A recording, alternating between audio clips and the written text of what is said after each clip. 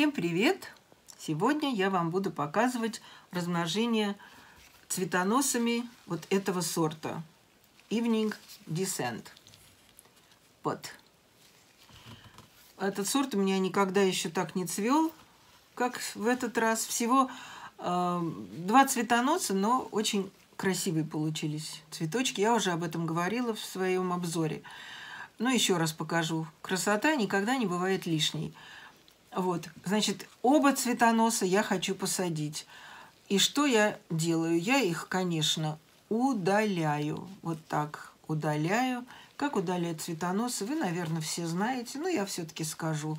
Нужно вот так осторожненько под листик залезть и наклонить ножку. Они очень хрупкие, и тут же она хрупнет и отвалится. Так, это я убираю. И вот мои два цветоноса. Ну, красота неописуемая. Посмотрите, какие здесь не просто горошки, как должны быть по сорту, аж блики такие яркие. Очень красивый сорт. Просто необыкновенно красивый. А этот цветок вообще просто образец красоты. Вот. И сейчас я буду их сажать. И покажу вам, как я это буду делать. Я приготовила стаканчик новую бритву, вот этот химикат для образования корней, для быстрейшего образования корней, и чистую салфетку. Это у меня здесь спирт, потому что я уронила лезвие, и после этого, конечно, я должна была его протереть. Меня часто спрашивают, как я делаю отверстие, чем. Вот я вам показываю, как я делаю отверстие. Вот так. Очень даже очень даже легко. Я не, не делаю это горячим э, гвоздем, потому что это, знаете, такой запах потом дома будет, что не проветришь. Вот. И вот так, все. Готово. Главное, чтобы здесь плоско было и чтобы стояло, стоял стаканчик без проблем.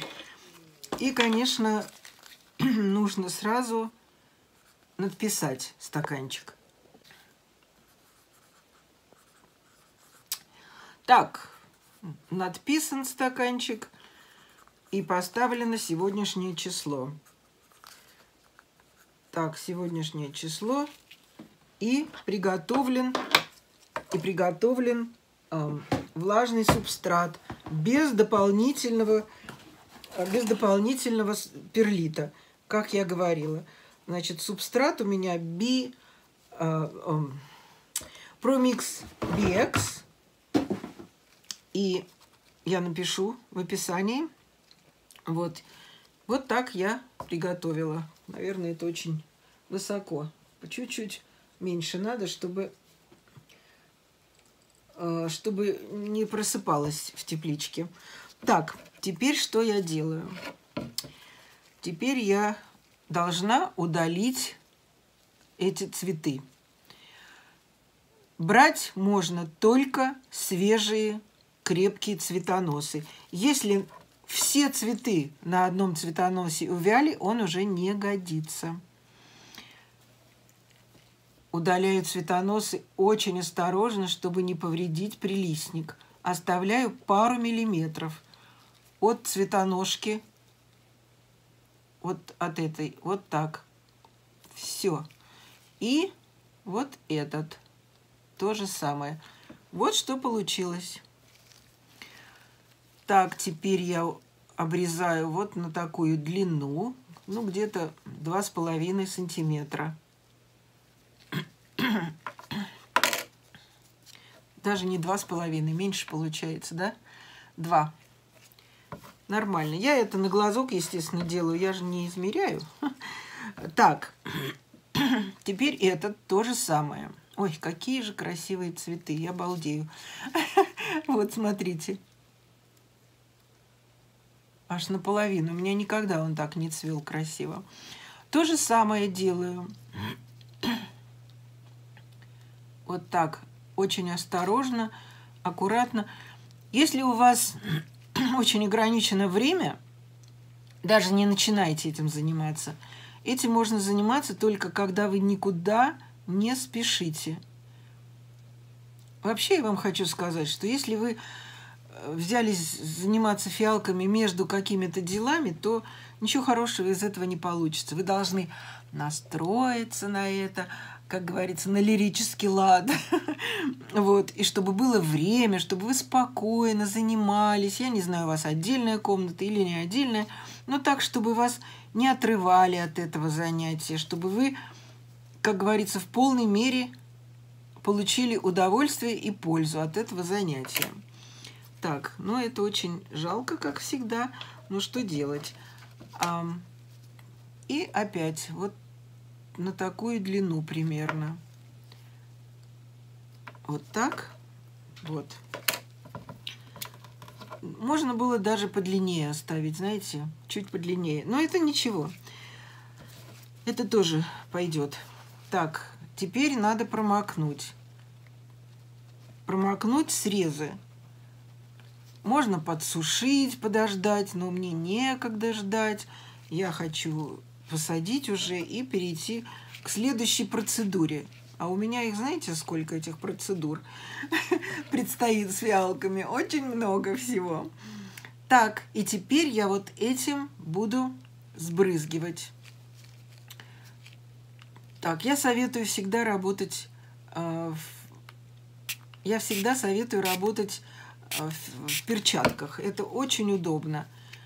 Вот, и теперь у меня здесь, вот видите, собралась, собралась эта жидкость, и я в нее вот так вот макаю, можно сказать, с головой эти цветоносы. Просто вот так вот хорошо-хорошо промокаю. Так, ну и я сюда же прямо вылью остаток. Um, так, теперь что я буду делать? Теперь я аккуратненько вот так и вот так посажу и чуть-чуть придавлю. И этот придавлю вот так.